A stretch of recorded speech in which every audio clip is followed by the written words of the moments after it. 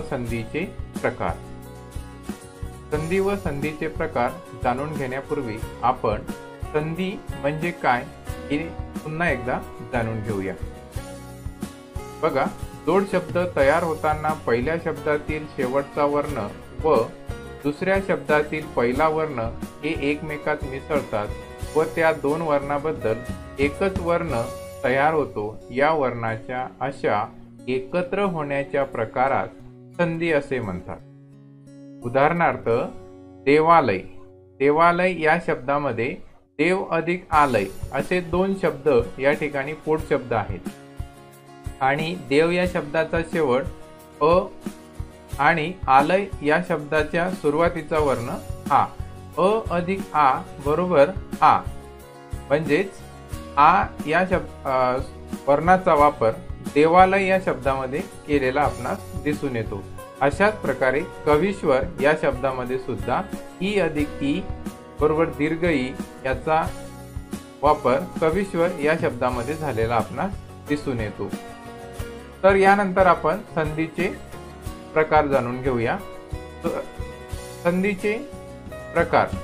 संधीच्या प्रकारामध्ये पहिला प्रकार स्वरसंधी त्यालाच अच संधी असे सुद्धा म्हणतात. संधीचा प्रकार क्रमांक दोन. त्याला व्यंजन संधी असे म्हणतात किंवा हलसंधी असे सुद्धा म्हणतात. प्रकार क्रमांक तीन विसर्ग संधी. आणि प्रकार क्रमांक चार म्हणजे मराठी भाषेतील संधी. त्यामध्ये पूर्वरूप व पररूप संधी ही बहुतांश प्रमाणात दिसून येते. तर या चारही प्रकाराविषयी आज आपण सखोल माहिती जाणून घेऊया. पहिला जो प्रकार आहे स्वरसंधी. स्वरसंधी म्हणजे काय? तर जोड शब्दातील पहिल्या पोट शब्दातील शेवटचा वर्ण स्वर व दुसऱ्या पोट शब्दातील पहिला वर्ण जर स्वर असेल म्हणजे शेवटचा वर्ण स्वर आणि पहिला वर्ण स्वर असे स्वर स्वर असेल तर त्यास स्वरसंधी असे म्हणतात. उदाहरणार्थ सूर्यास्त या शब्दामध्ये सूर्य अधिक अस्त म्हणजेच अ अधिक अ म्हणजे स्वर स्वर या ठिकाणी दोन्ही स्वरां एकत्र येऊन या ठिकाणी आ हा स्वर झालेला आहे. म्हणजेच या ठिकाणी स्वरसंधी झालेली आपणास दिसून येते. अशा पद्धतीने परीक्षा या शब्दामध्ये सुद्धा ई अधिक ई असा या ठिकाणी दोन्ही स्वर आलेले आहेत. त्या ठिकाणी स्वरसंधी झालेली आपणास दिसून येते. प्रकार क्रमांक दोन. व्यंजन संधी व्यंजन संधीमध्ये जोड शब्दातील पहिल्या पोट शब्दातील शेवटचा वर्ण व्यंजन व दुसऱ्या पोट शब्दातील पहिला वर्ण स्वर किंवा व्यंजन असेल तर त्यास व्यंजन संधी म्हणतात. म्हणजे या ठिकाणी थोडक्यात सांगायचे झाले तर पहिला वर्ण व्यंजन आणि दुसरा शब्दातील पहिला वर्ण जर स्वर किंवा व्यंजन असेल तर त्यास व्यंजन संधी म्हणतात. उदाहरणार्थ सत्कार या शब्दामध्ये. सत्कार या शब्दामध्ये सत अधिक कार म्हणजे त अधिक क. या ठिकाणी व्यंजन व्यंजन. या ठिकाणी का असा जोड शब्द तयार झालेला आहे. तो सत्कार या शब्दामध्ये वापरलेला आहे.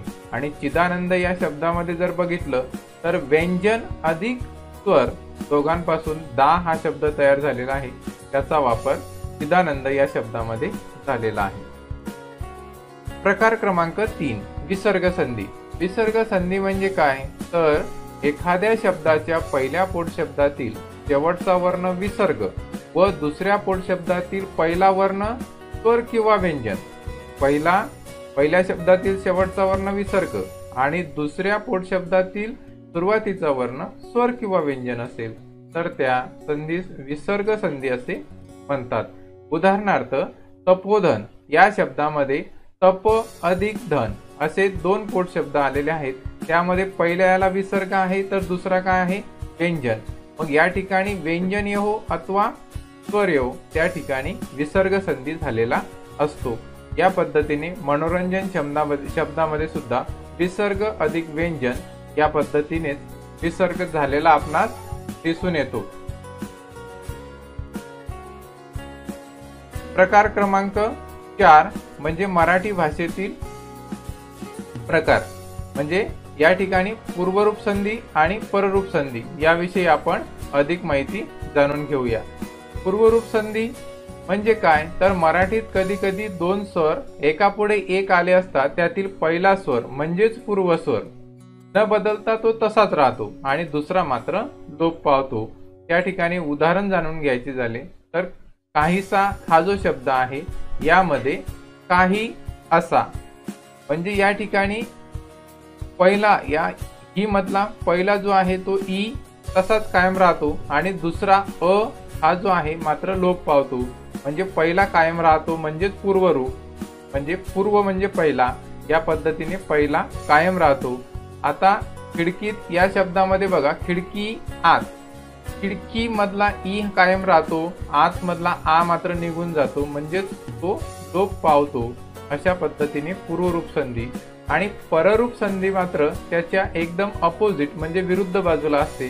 कधी कधी मराठी शब्दाचा संधी होताना पहिल्या पदातील शेवटचा स्वर तो पावतो व दुसरा स्वर म्हणजेच परस्वर मात्र कायम राहतो त्या ठिकाणी कायम राहून तो पररूप संधी प्रकार होतो. उदाहरणार्थ घरी या शब्दामध्ये घरी या शब्दामधला बघा.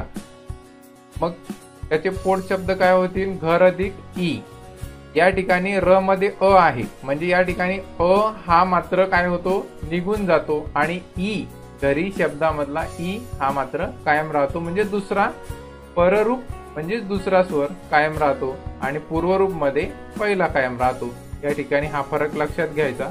अशा पद्धतीने आज आपण संधीचे प्रकार जाणून घेतलेले आहेत. तर पुन्हा एकदा नवीन व्हिडिओसह भेटणार आहोत. धन्यवाद.